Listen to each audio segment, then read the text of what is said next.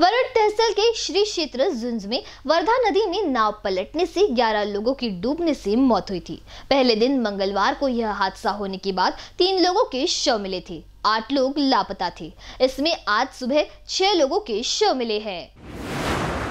बुधवार को एनडीआरएफ और एसडीआरएफ के कमांडो खोजबीन में लगे थे। इन कमांडो को आज सफलता मिली। यह जानकारी एसडीएम नितिन कुमार हिंगोले ने दी। हिंगोले ने बताया कि घटनास्थल से पाँच किलोमीटर दूरी पर अलग अलग स्थान पर वे शव मिले और दो शव मिलना बाकी है। आज जो शव मिले, उन शवों का घटनास्थल पर ही पंचनामा कर, पोस्टमार्टम कर अंतिम संस्कार करने के आदेश दिए हैं। आज सुबह जो शव मिले, उसमें निशा नारायण मटरे, अतुल वाघमारे, पत्नी वृषाली वाघमारे, अश्विनी खंडागले, पूनम शिवनकर का समावेश है। कैमरा पर्सन अखिलेश भारद्वाज के साथ अभिषेक पान से बीस के न्यूज़ नागपुर।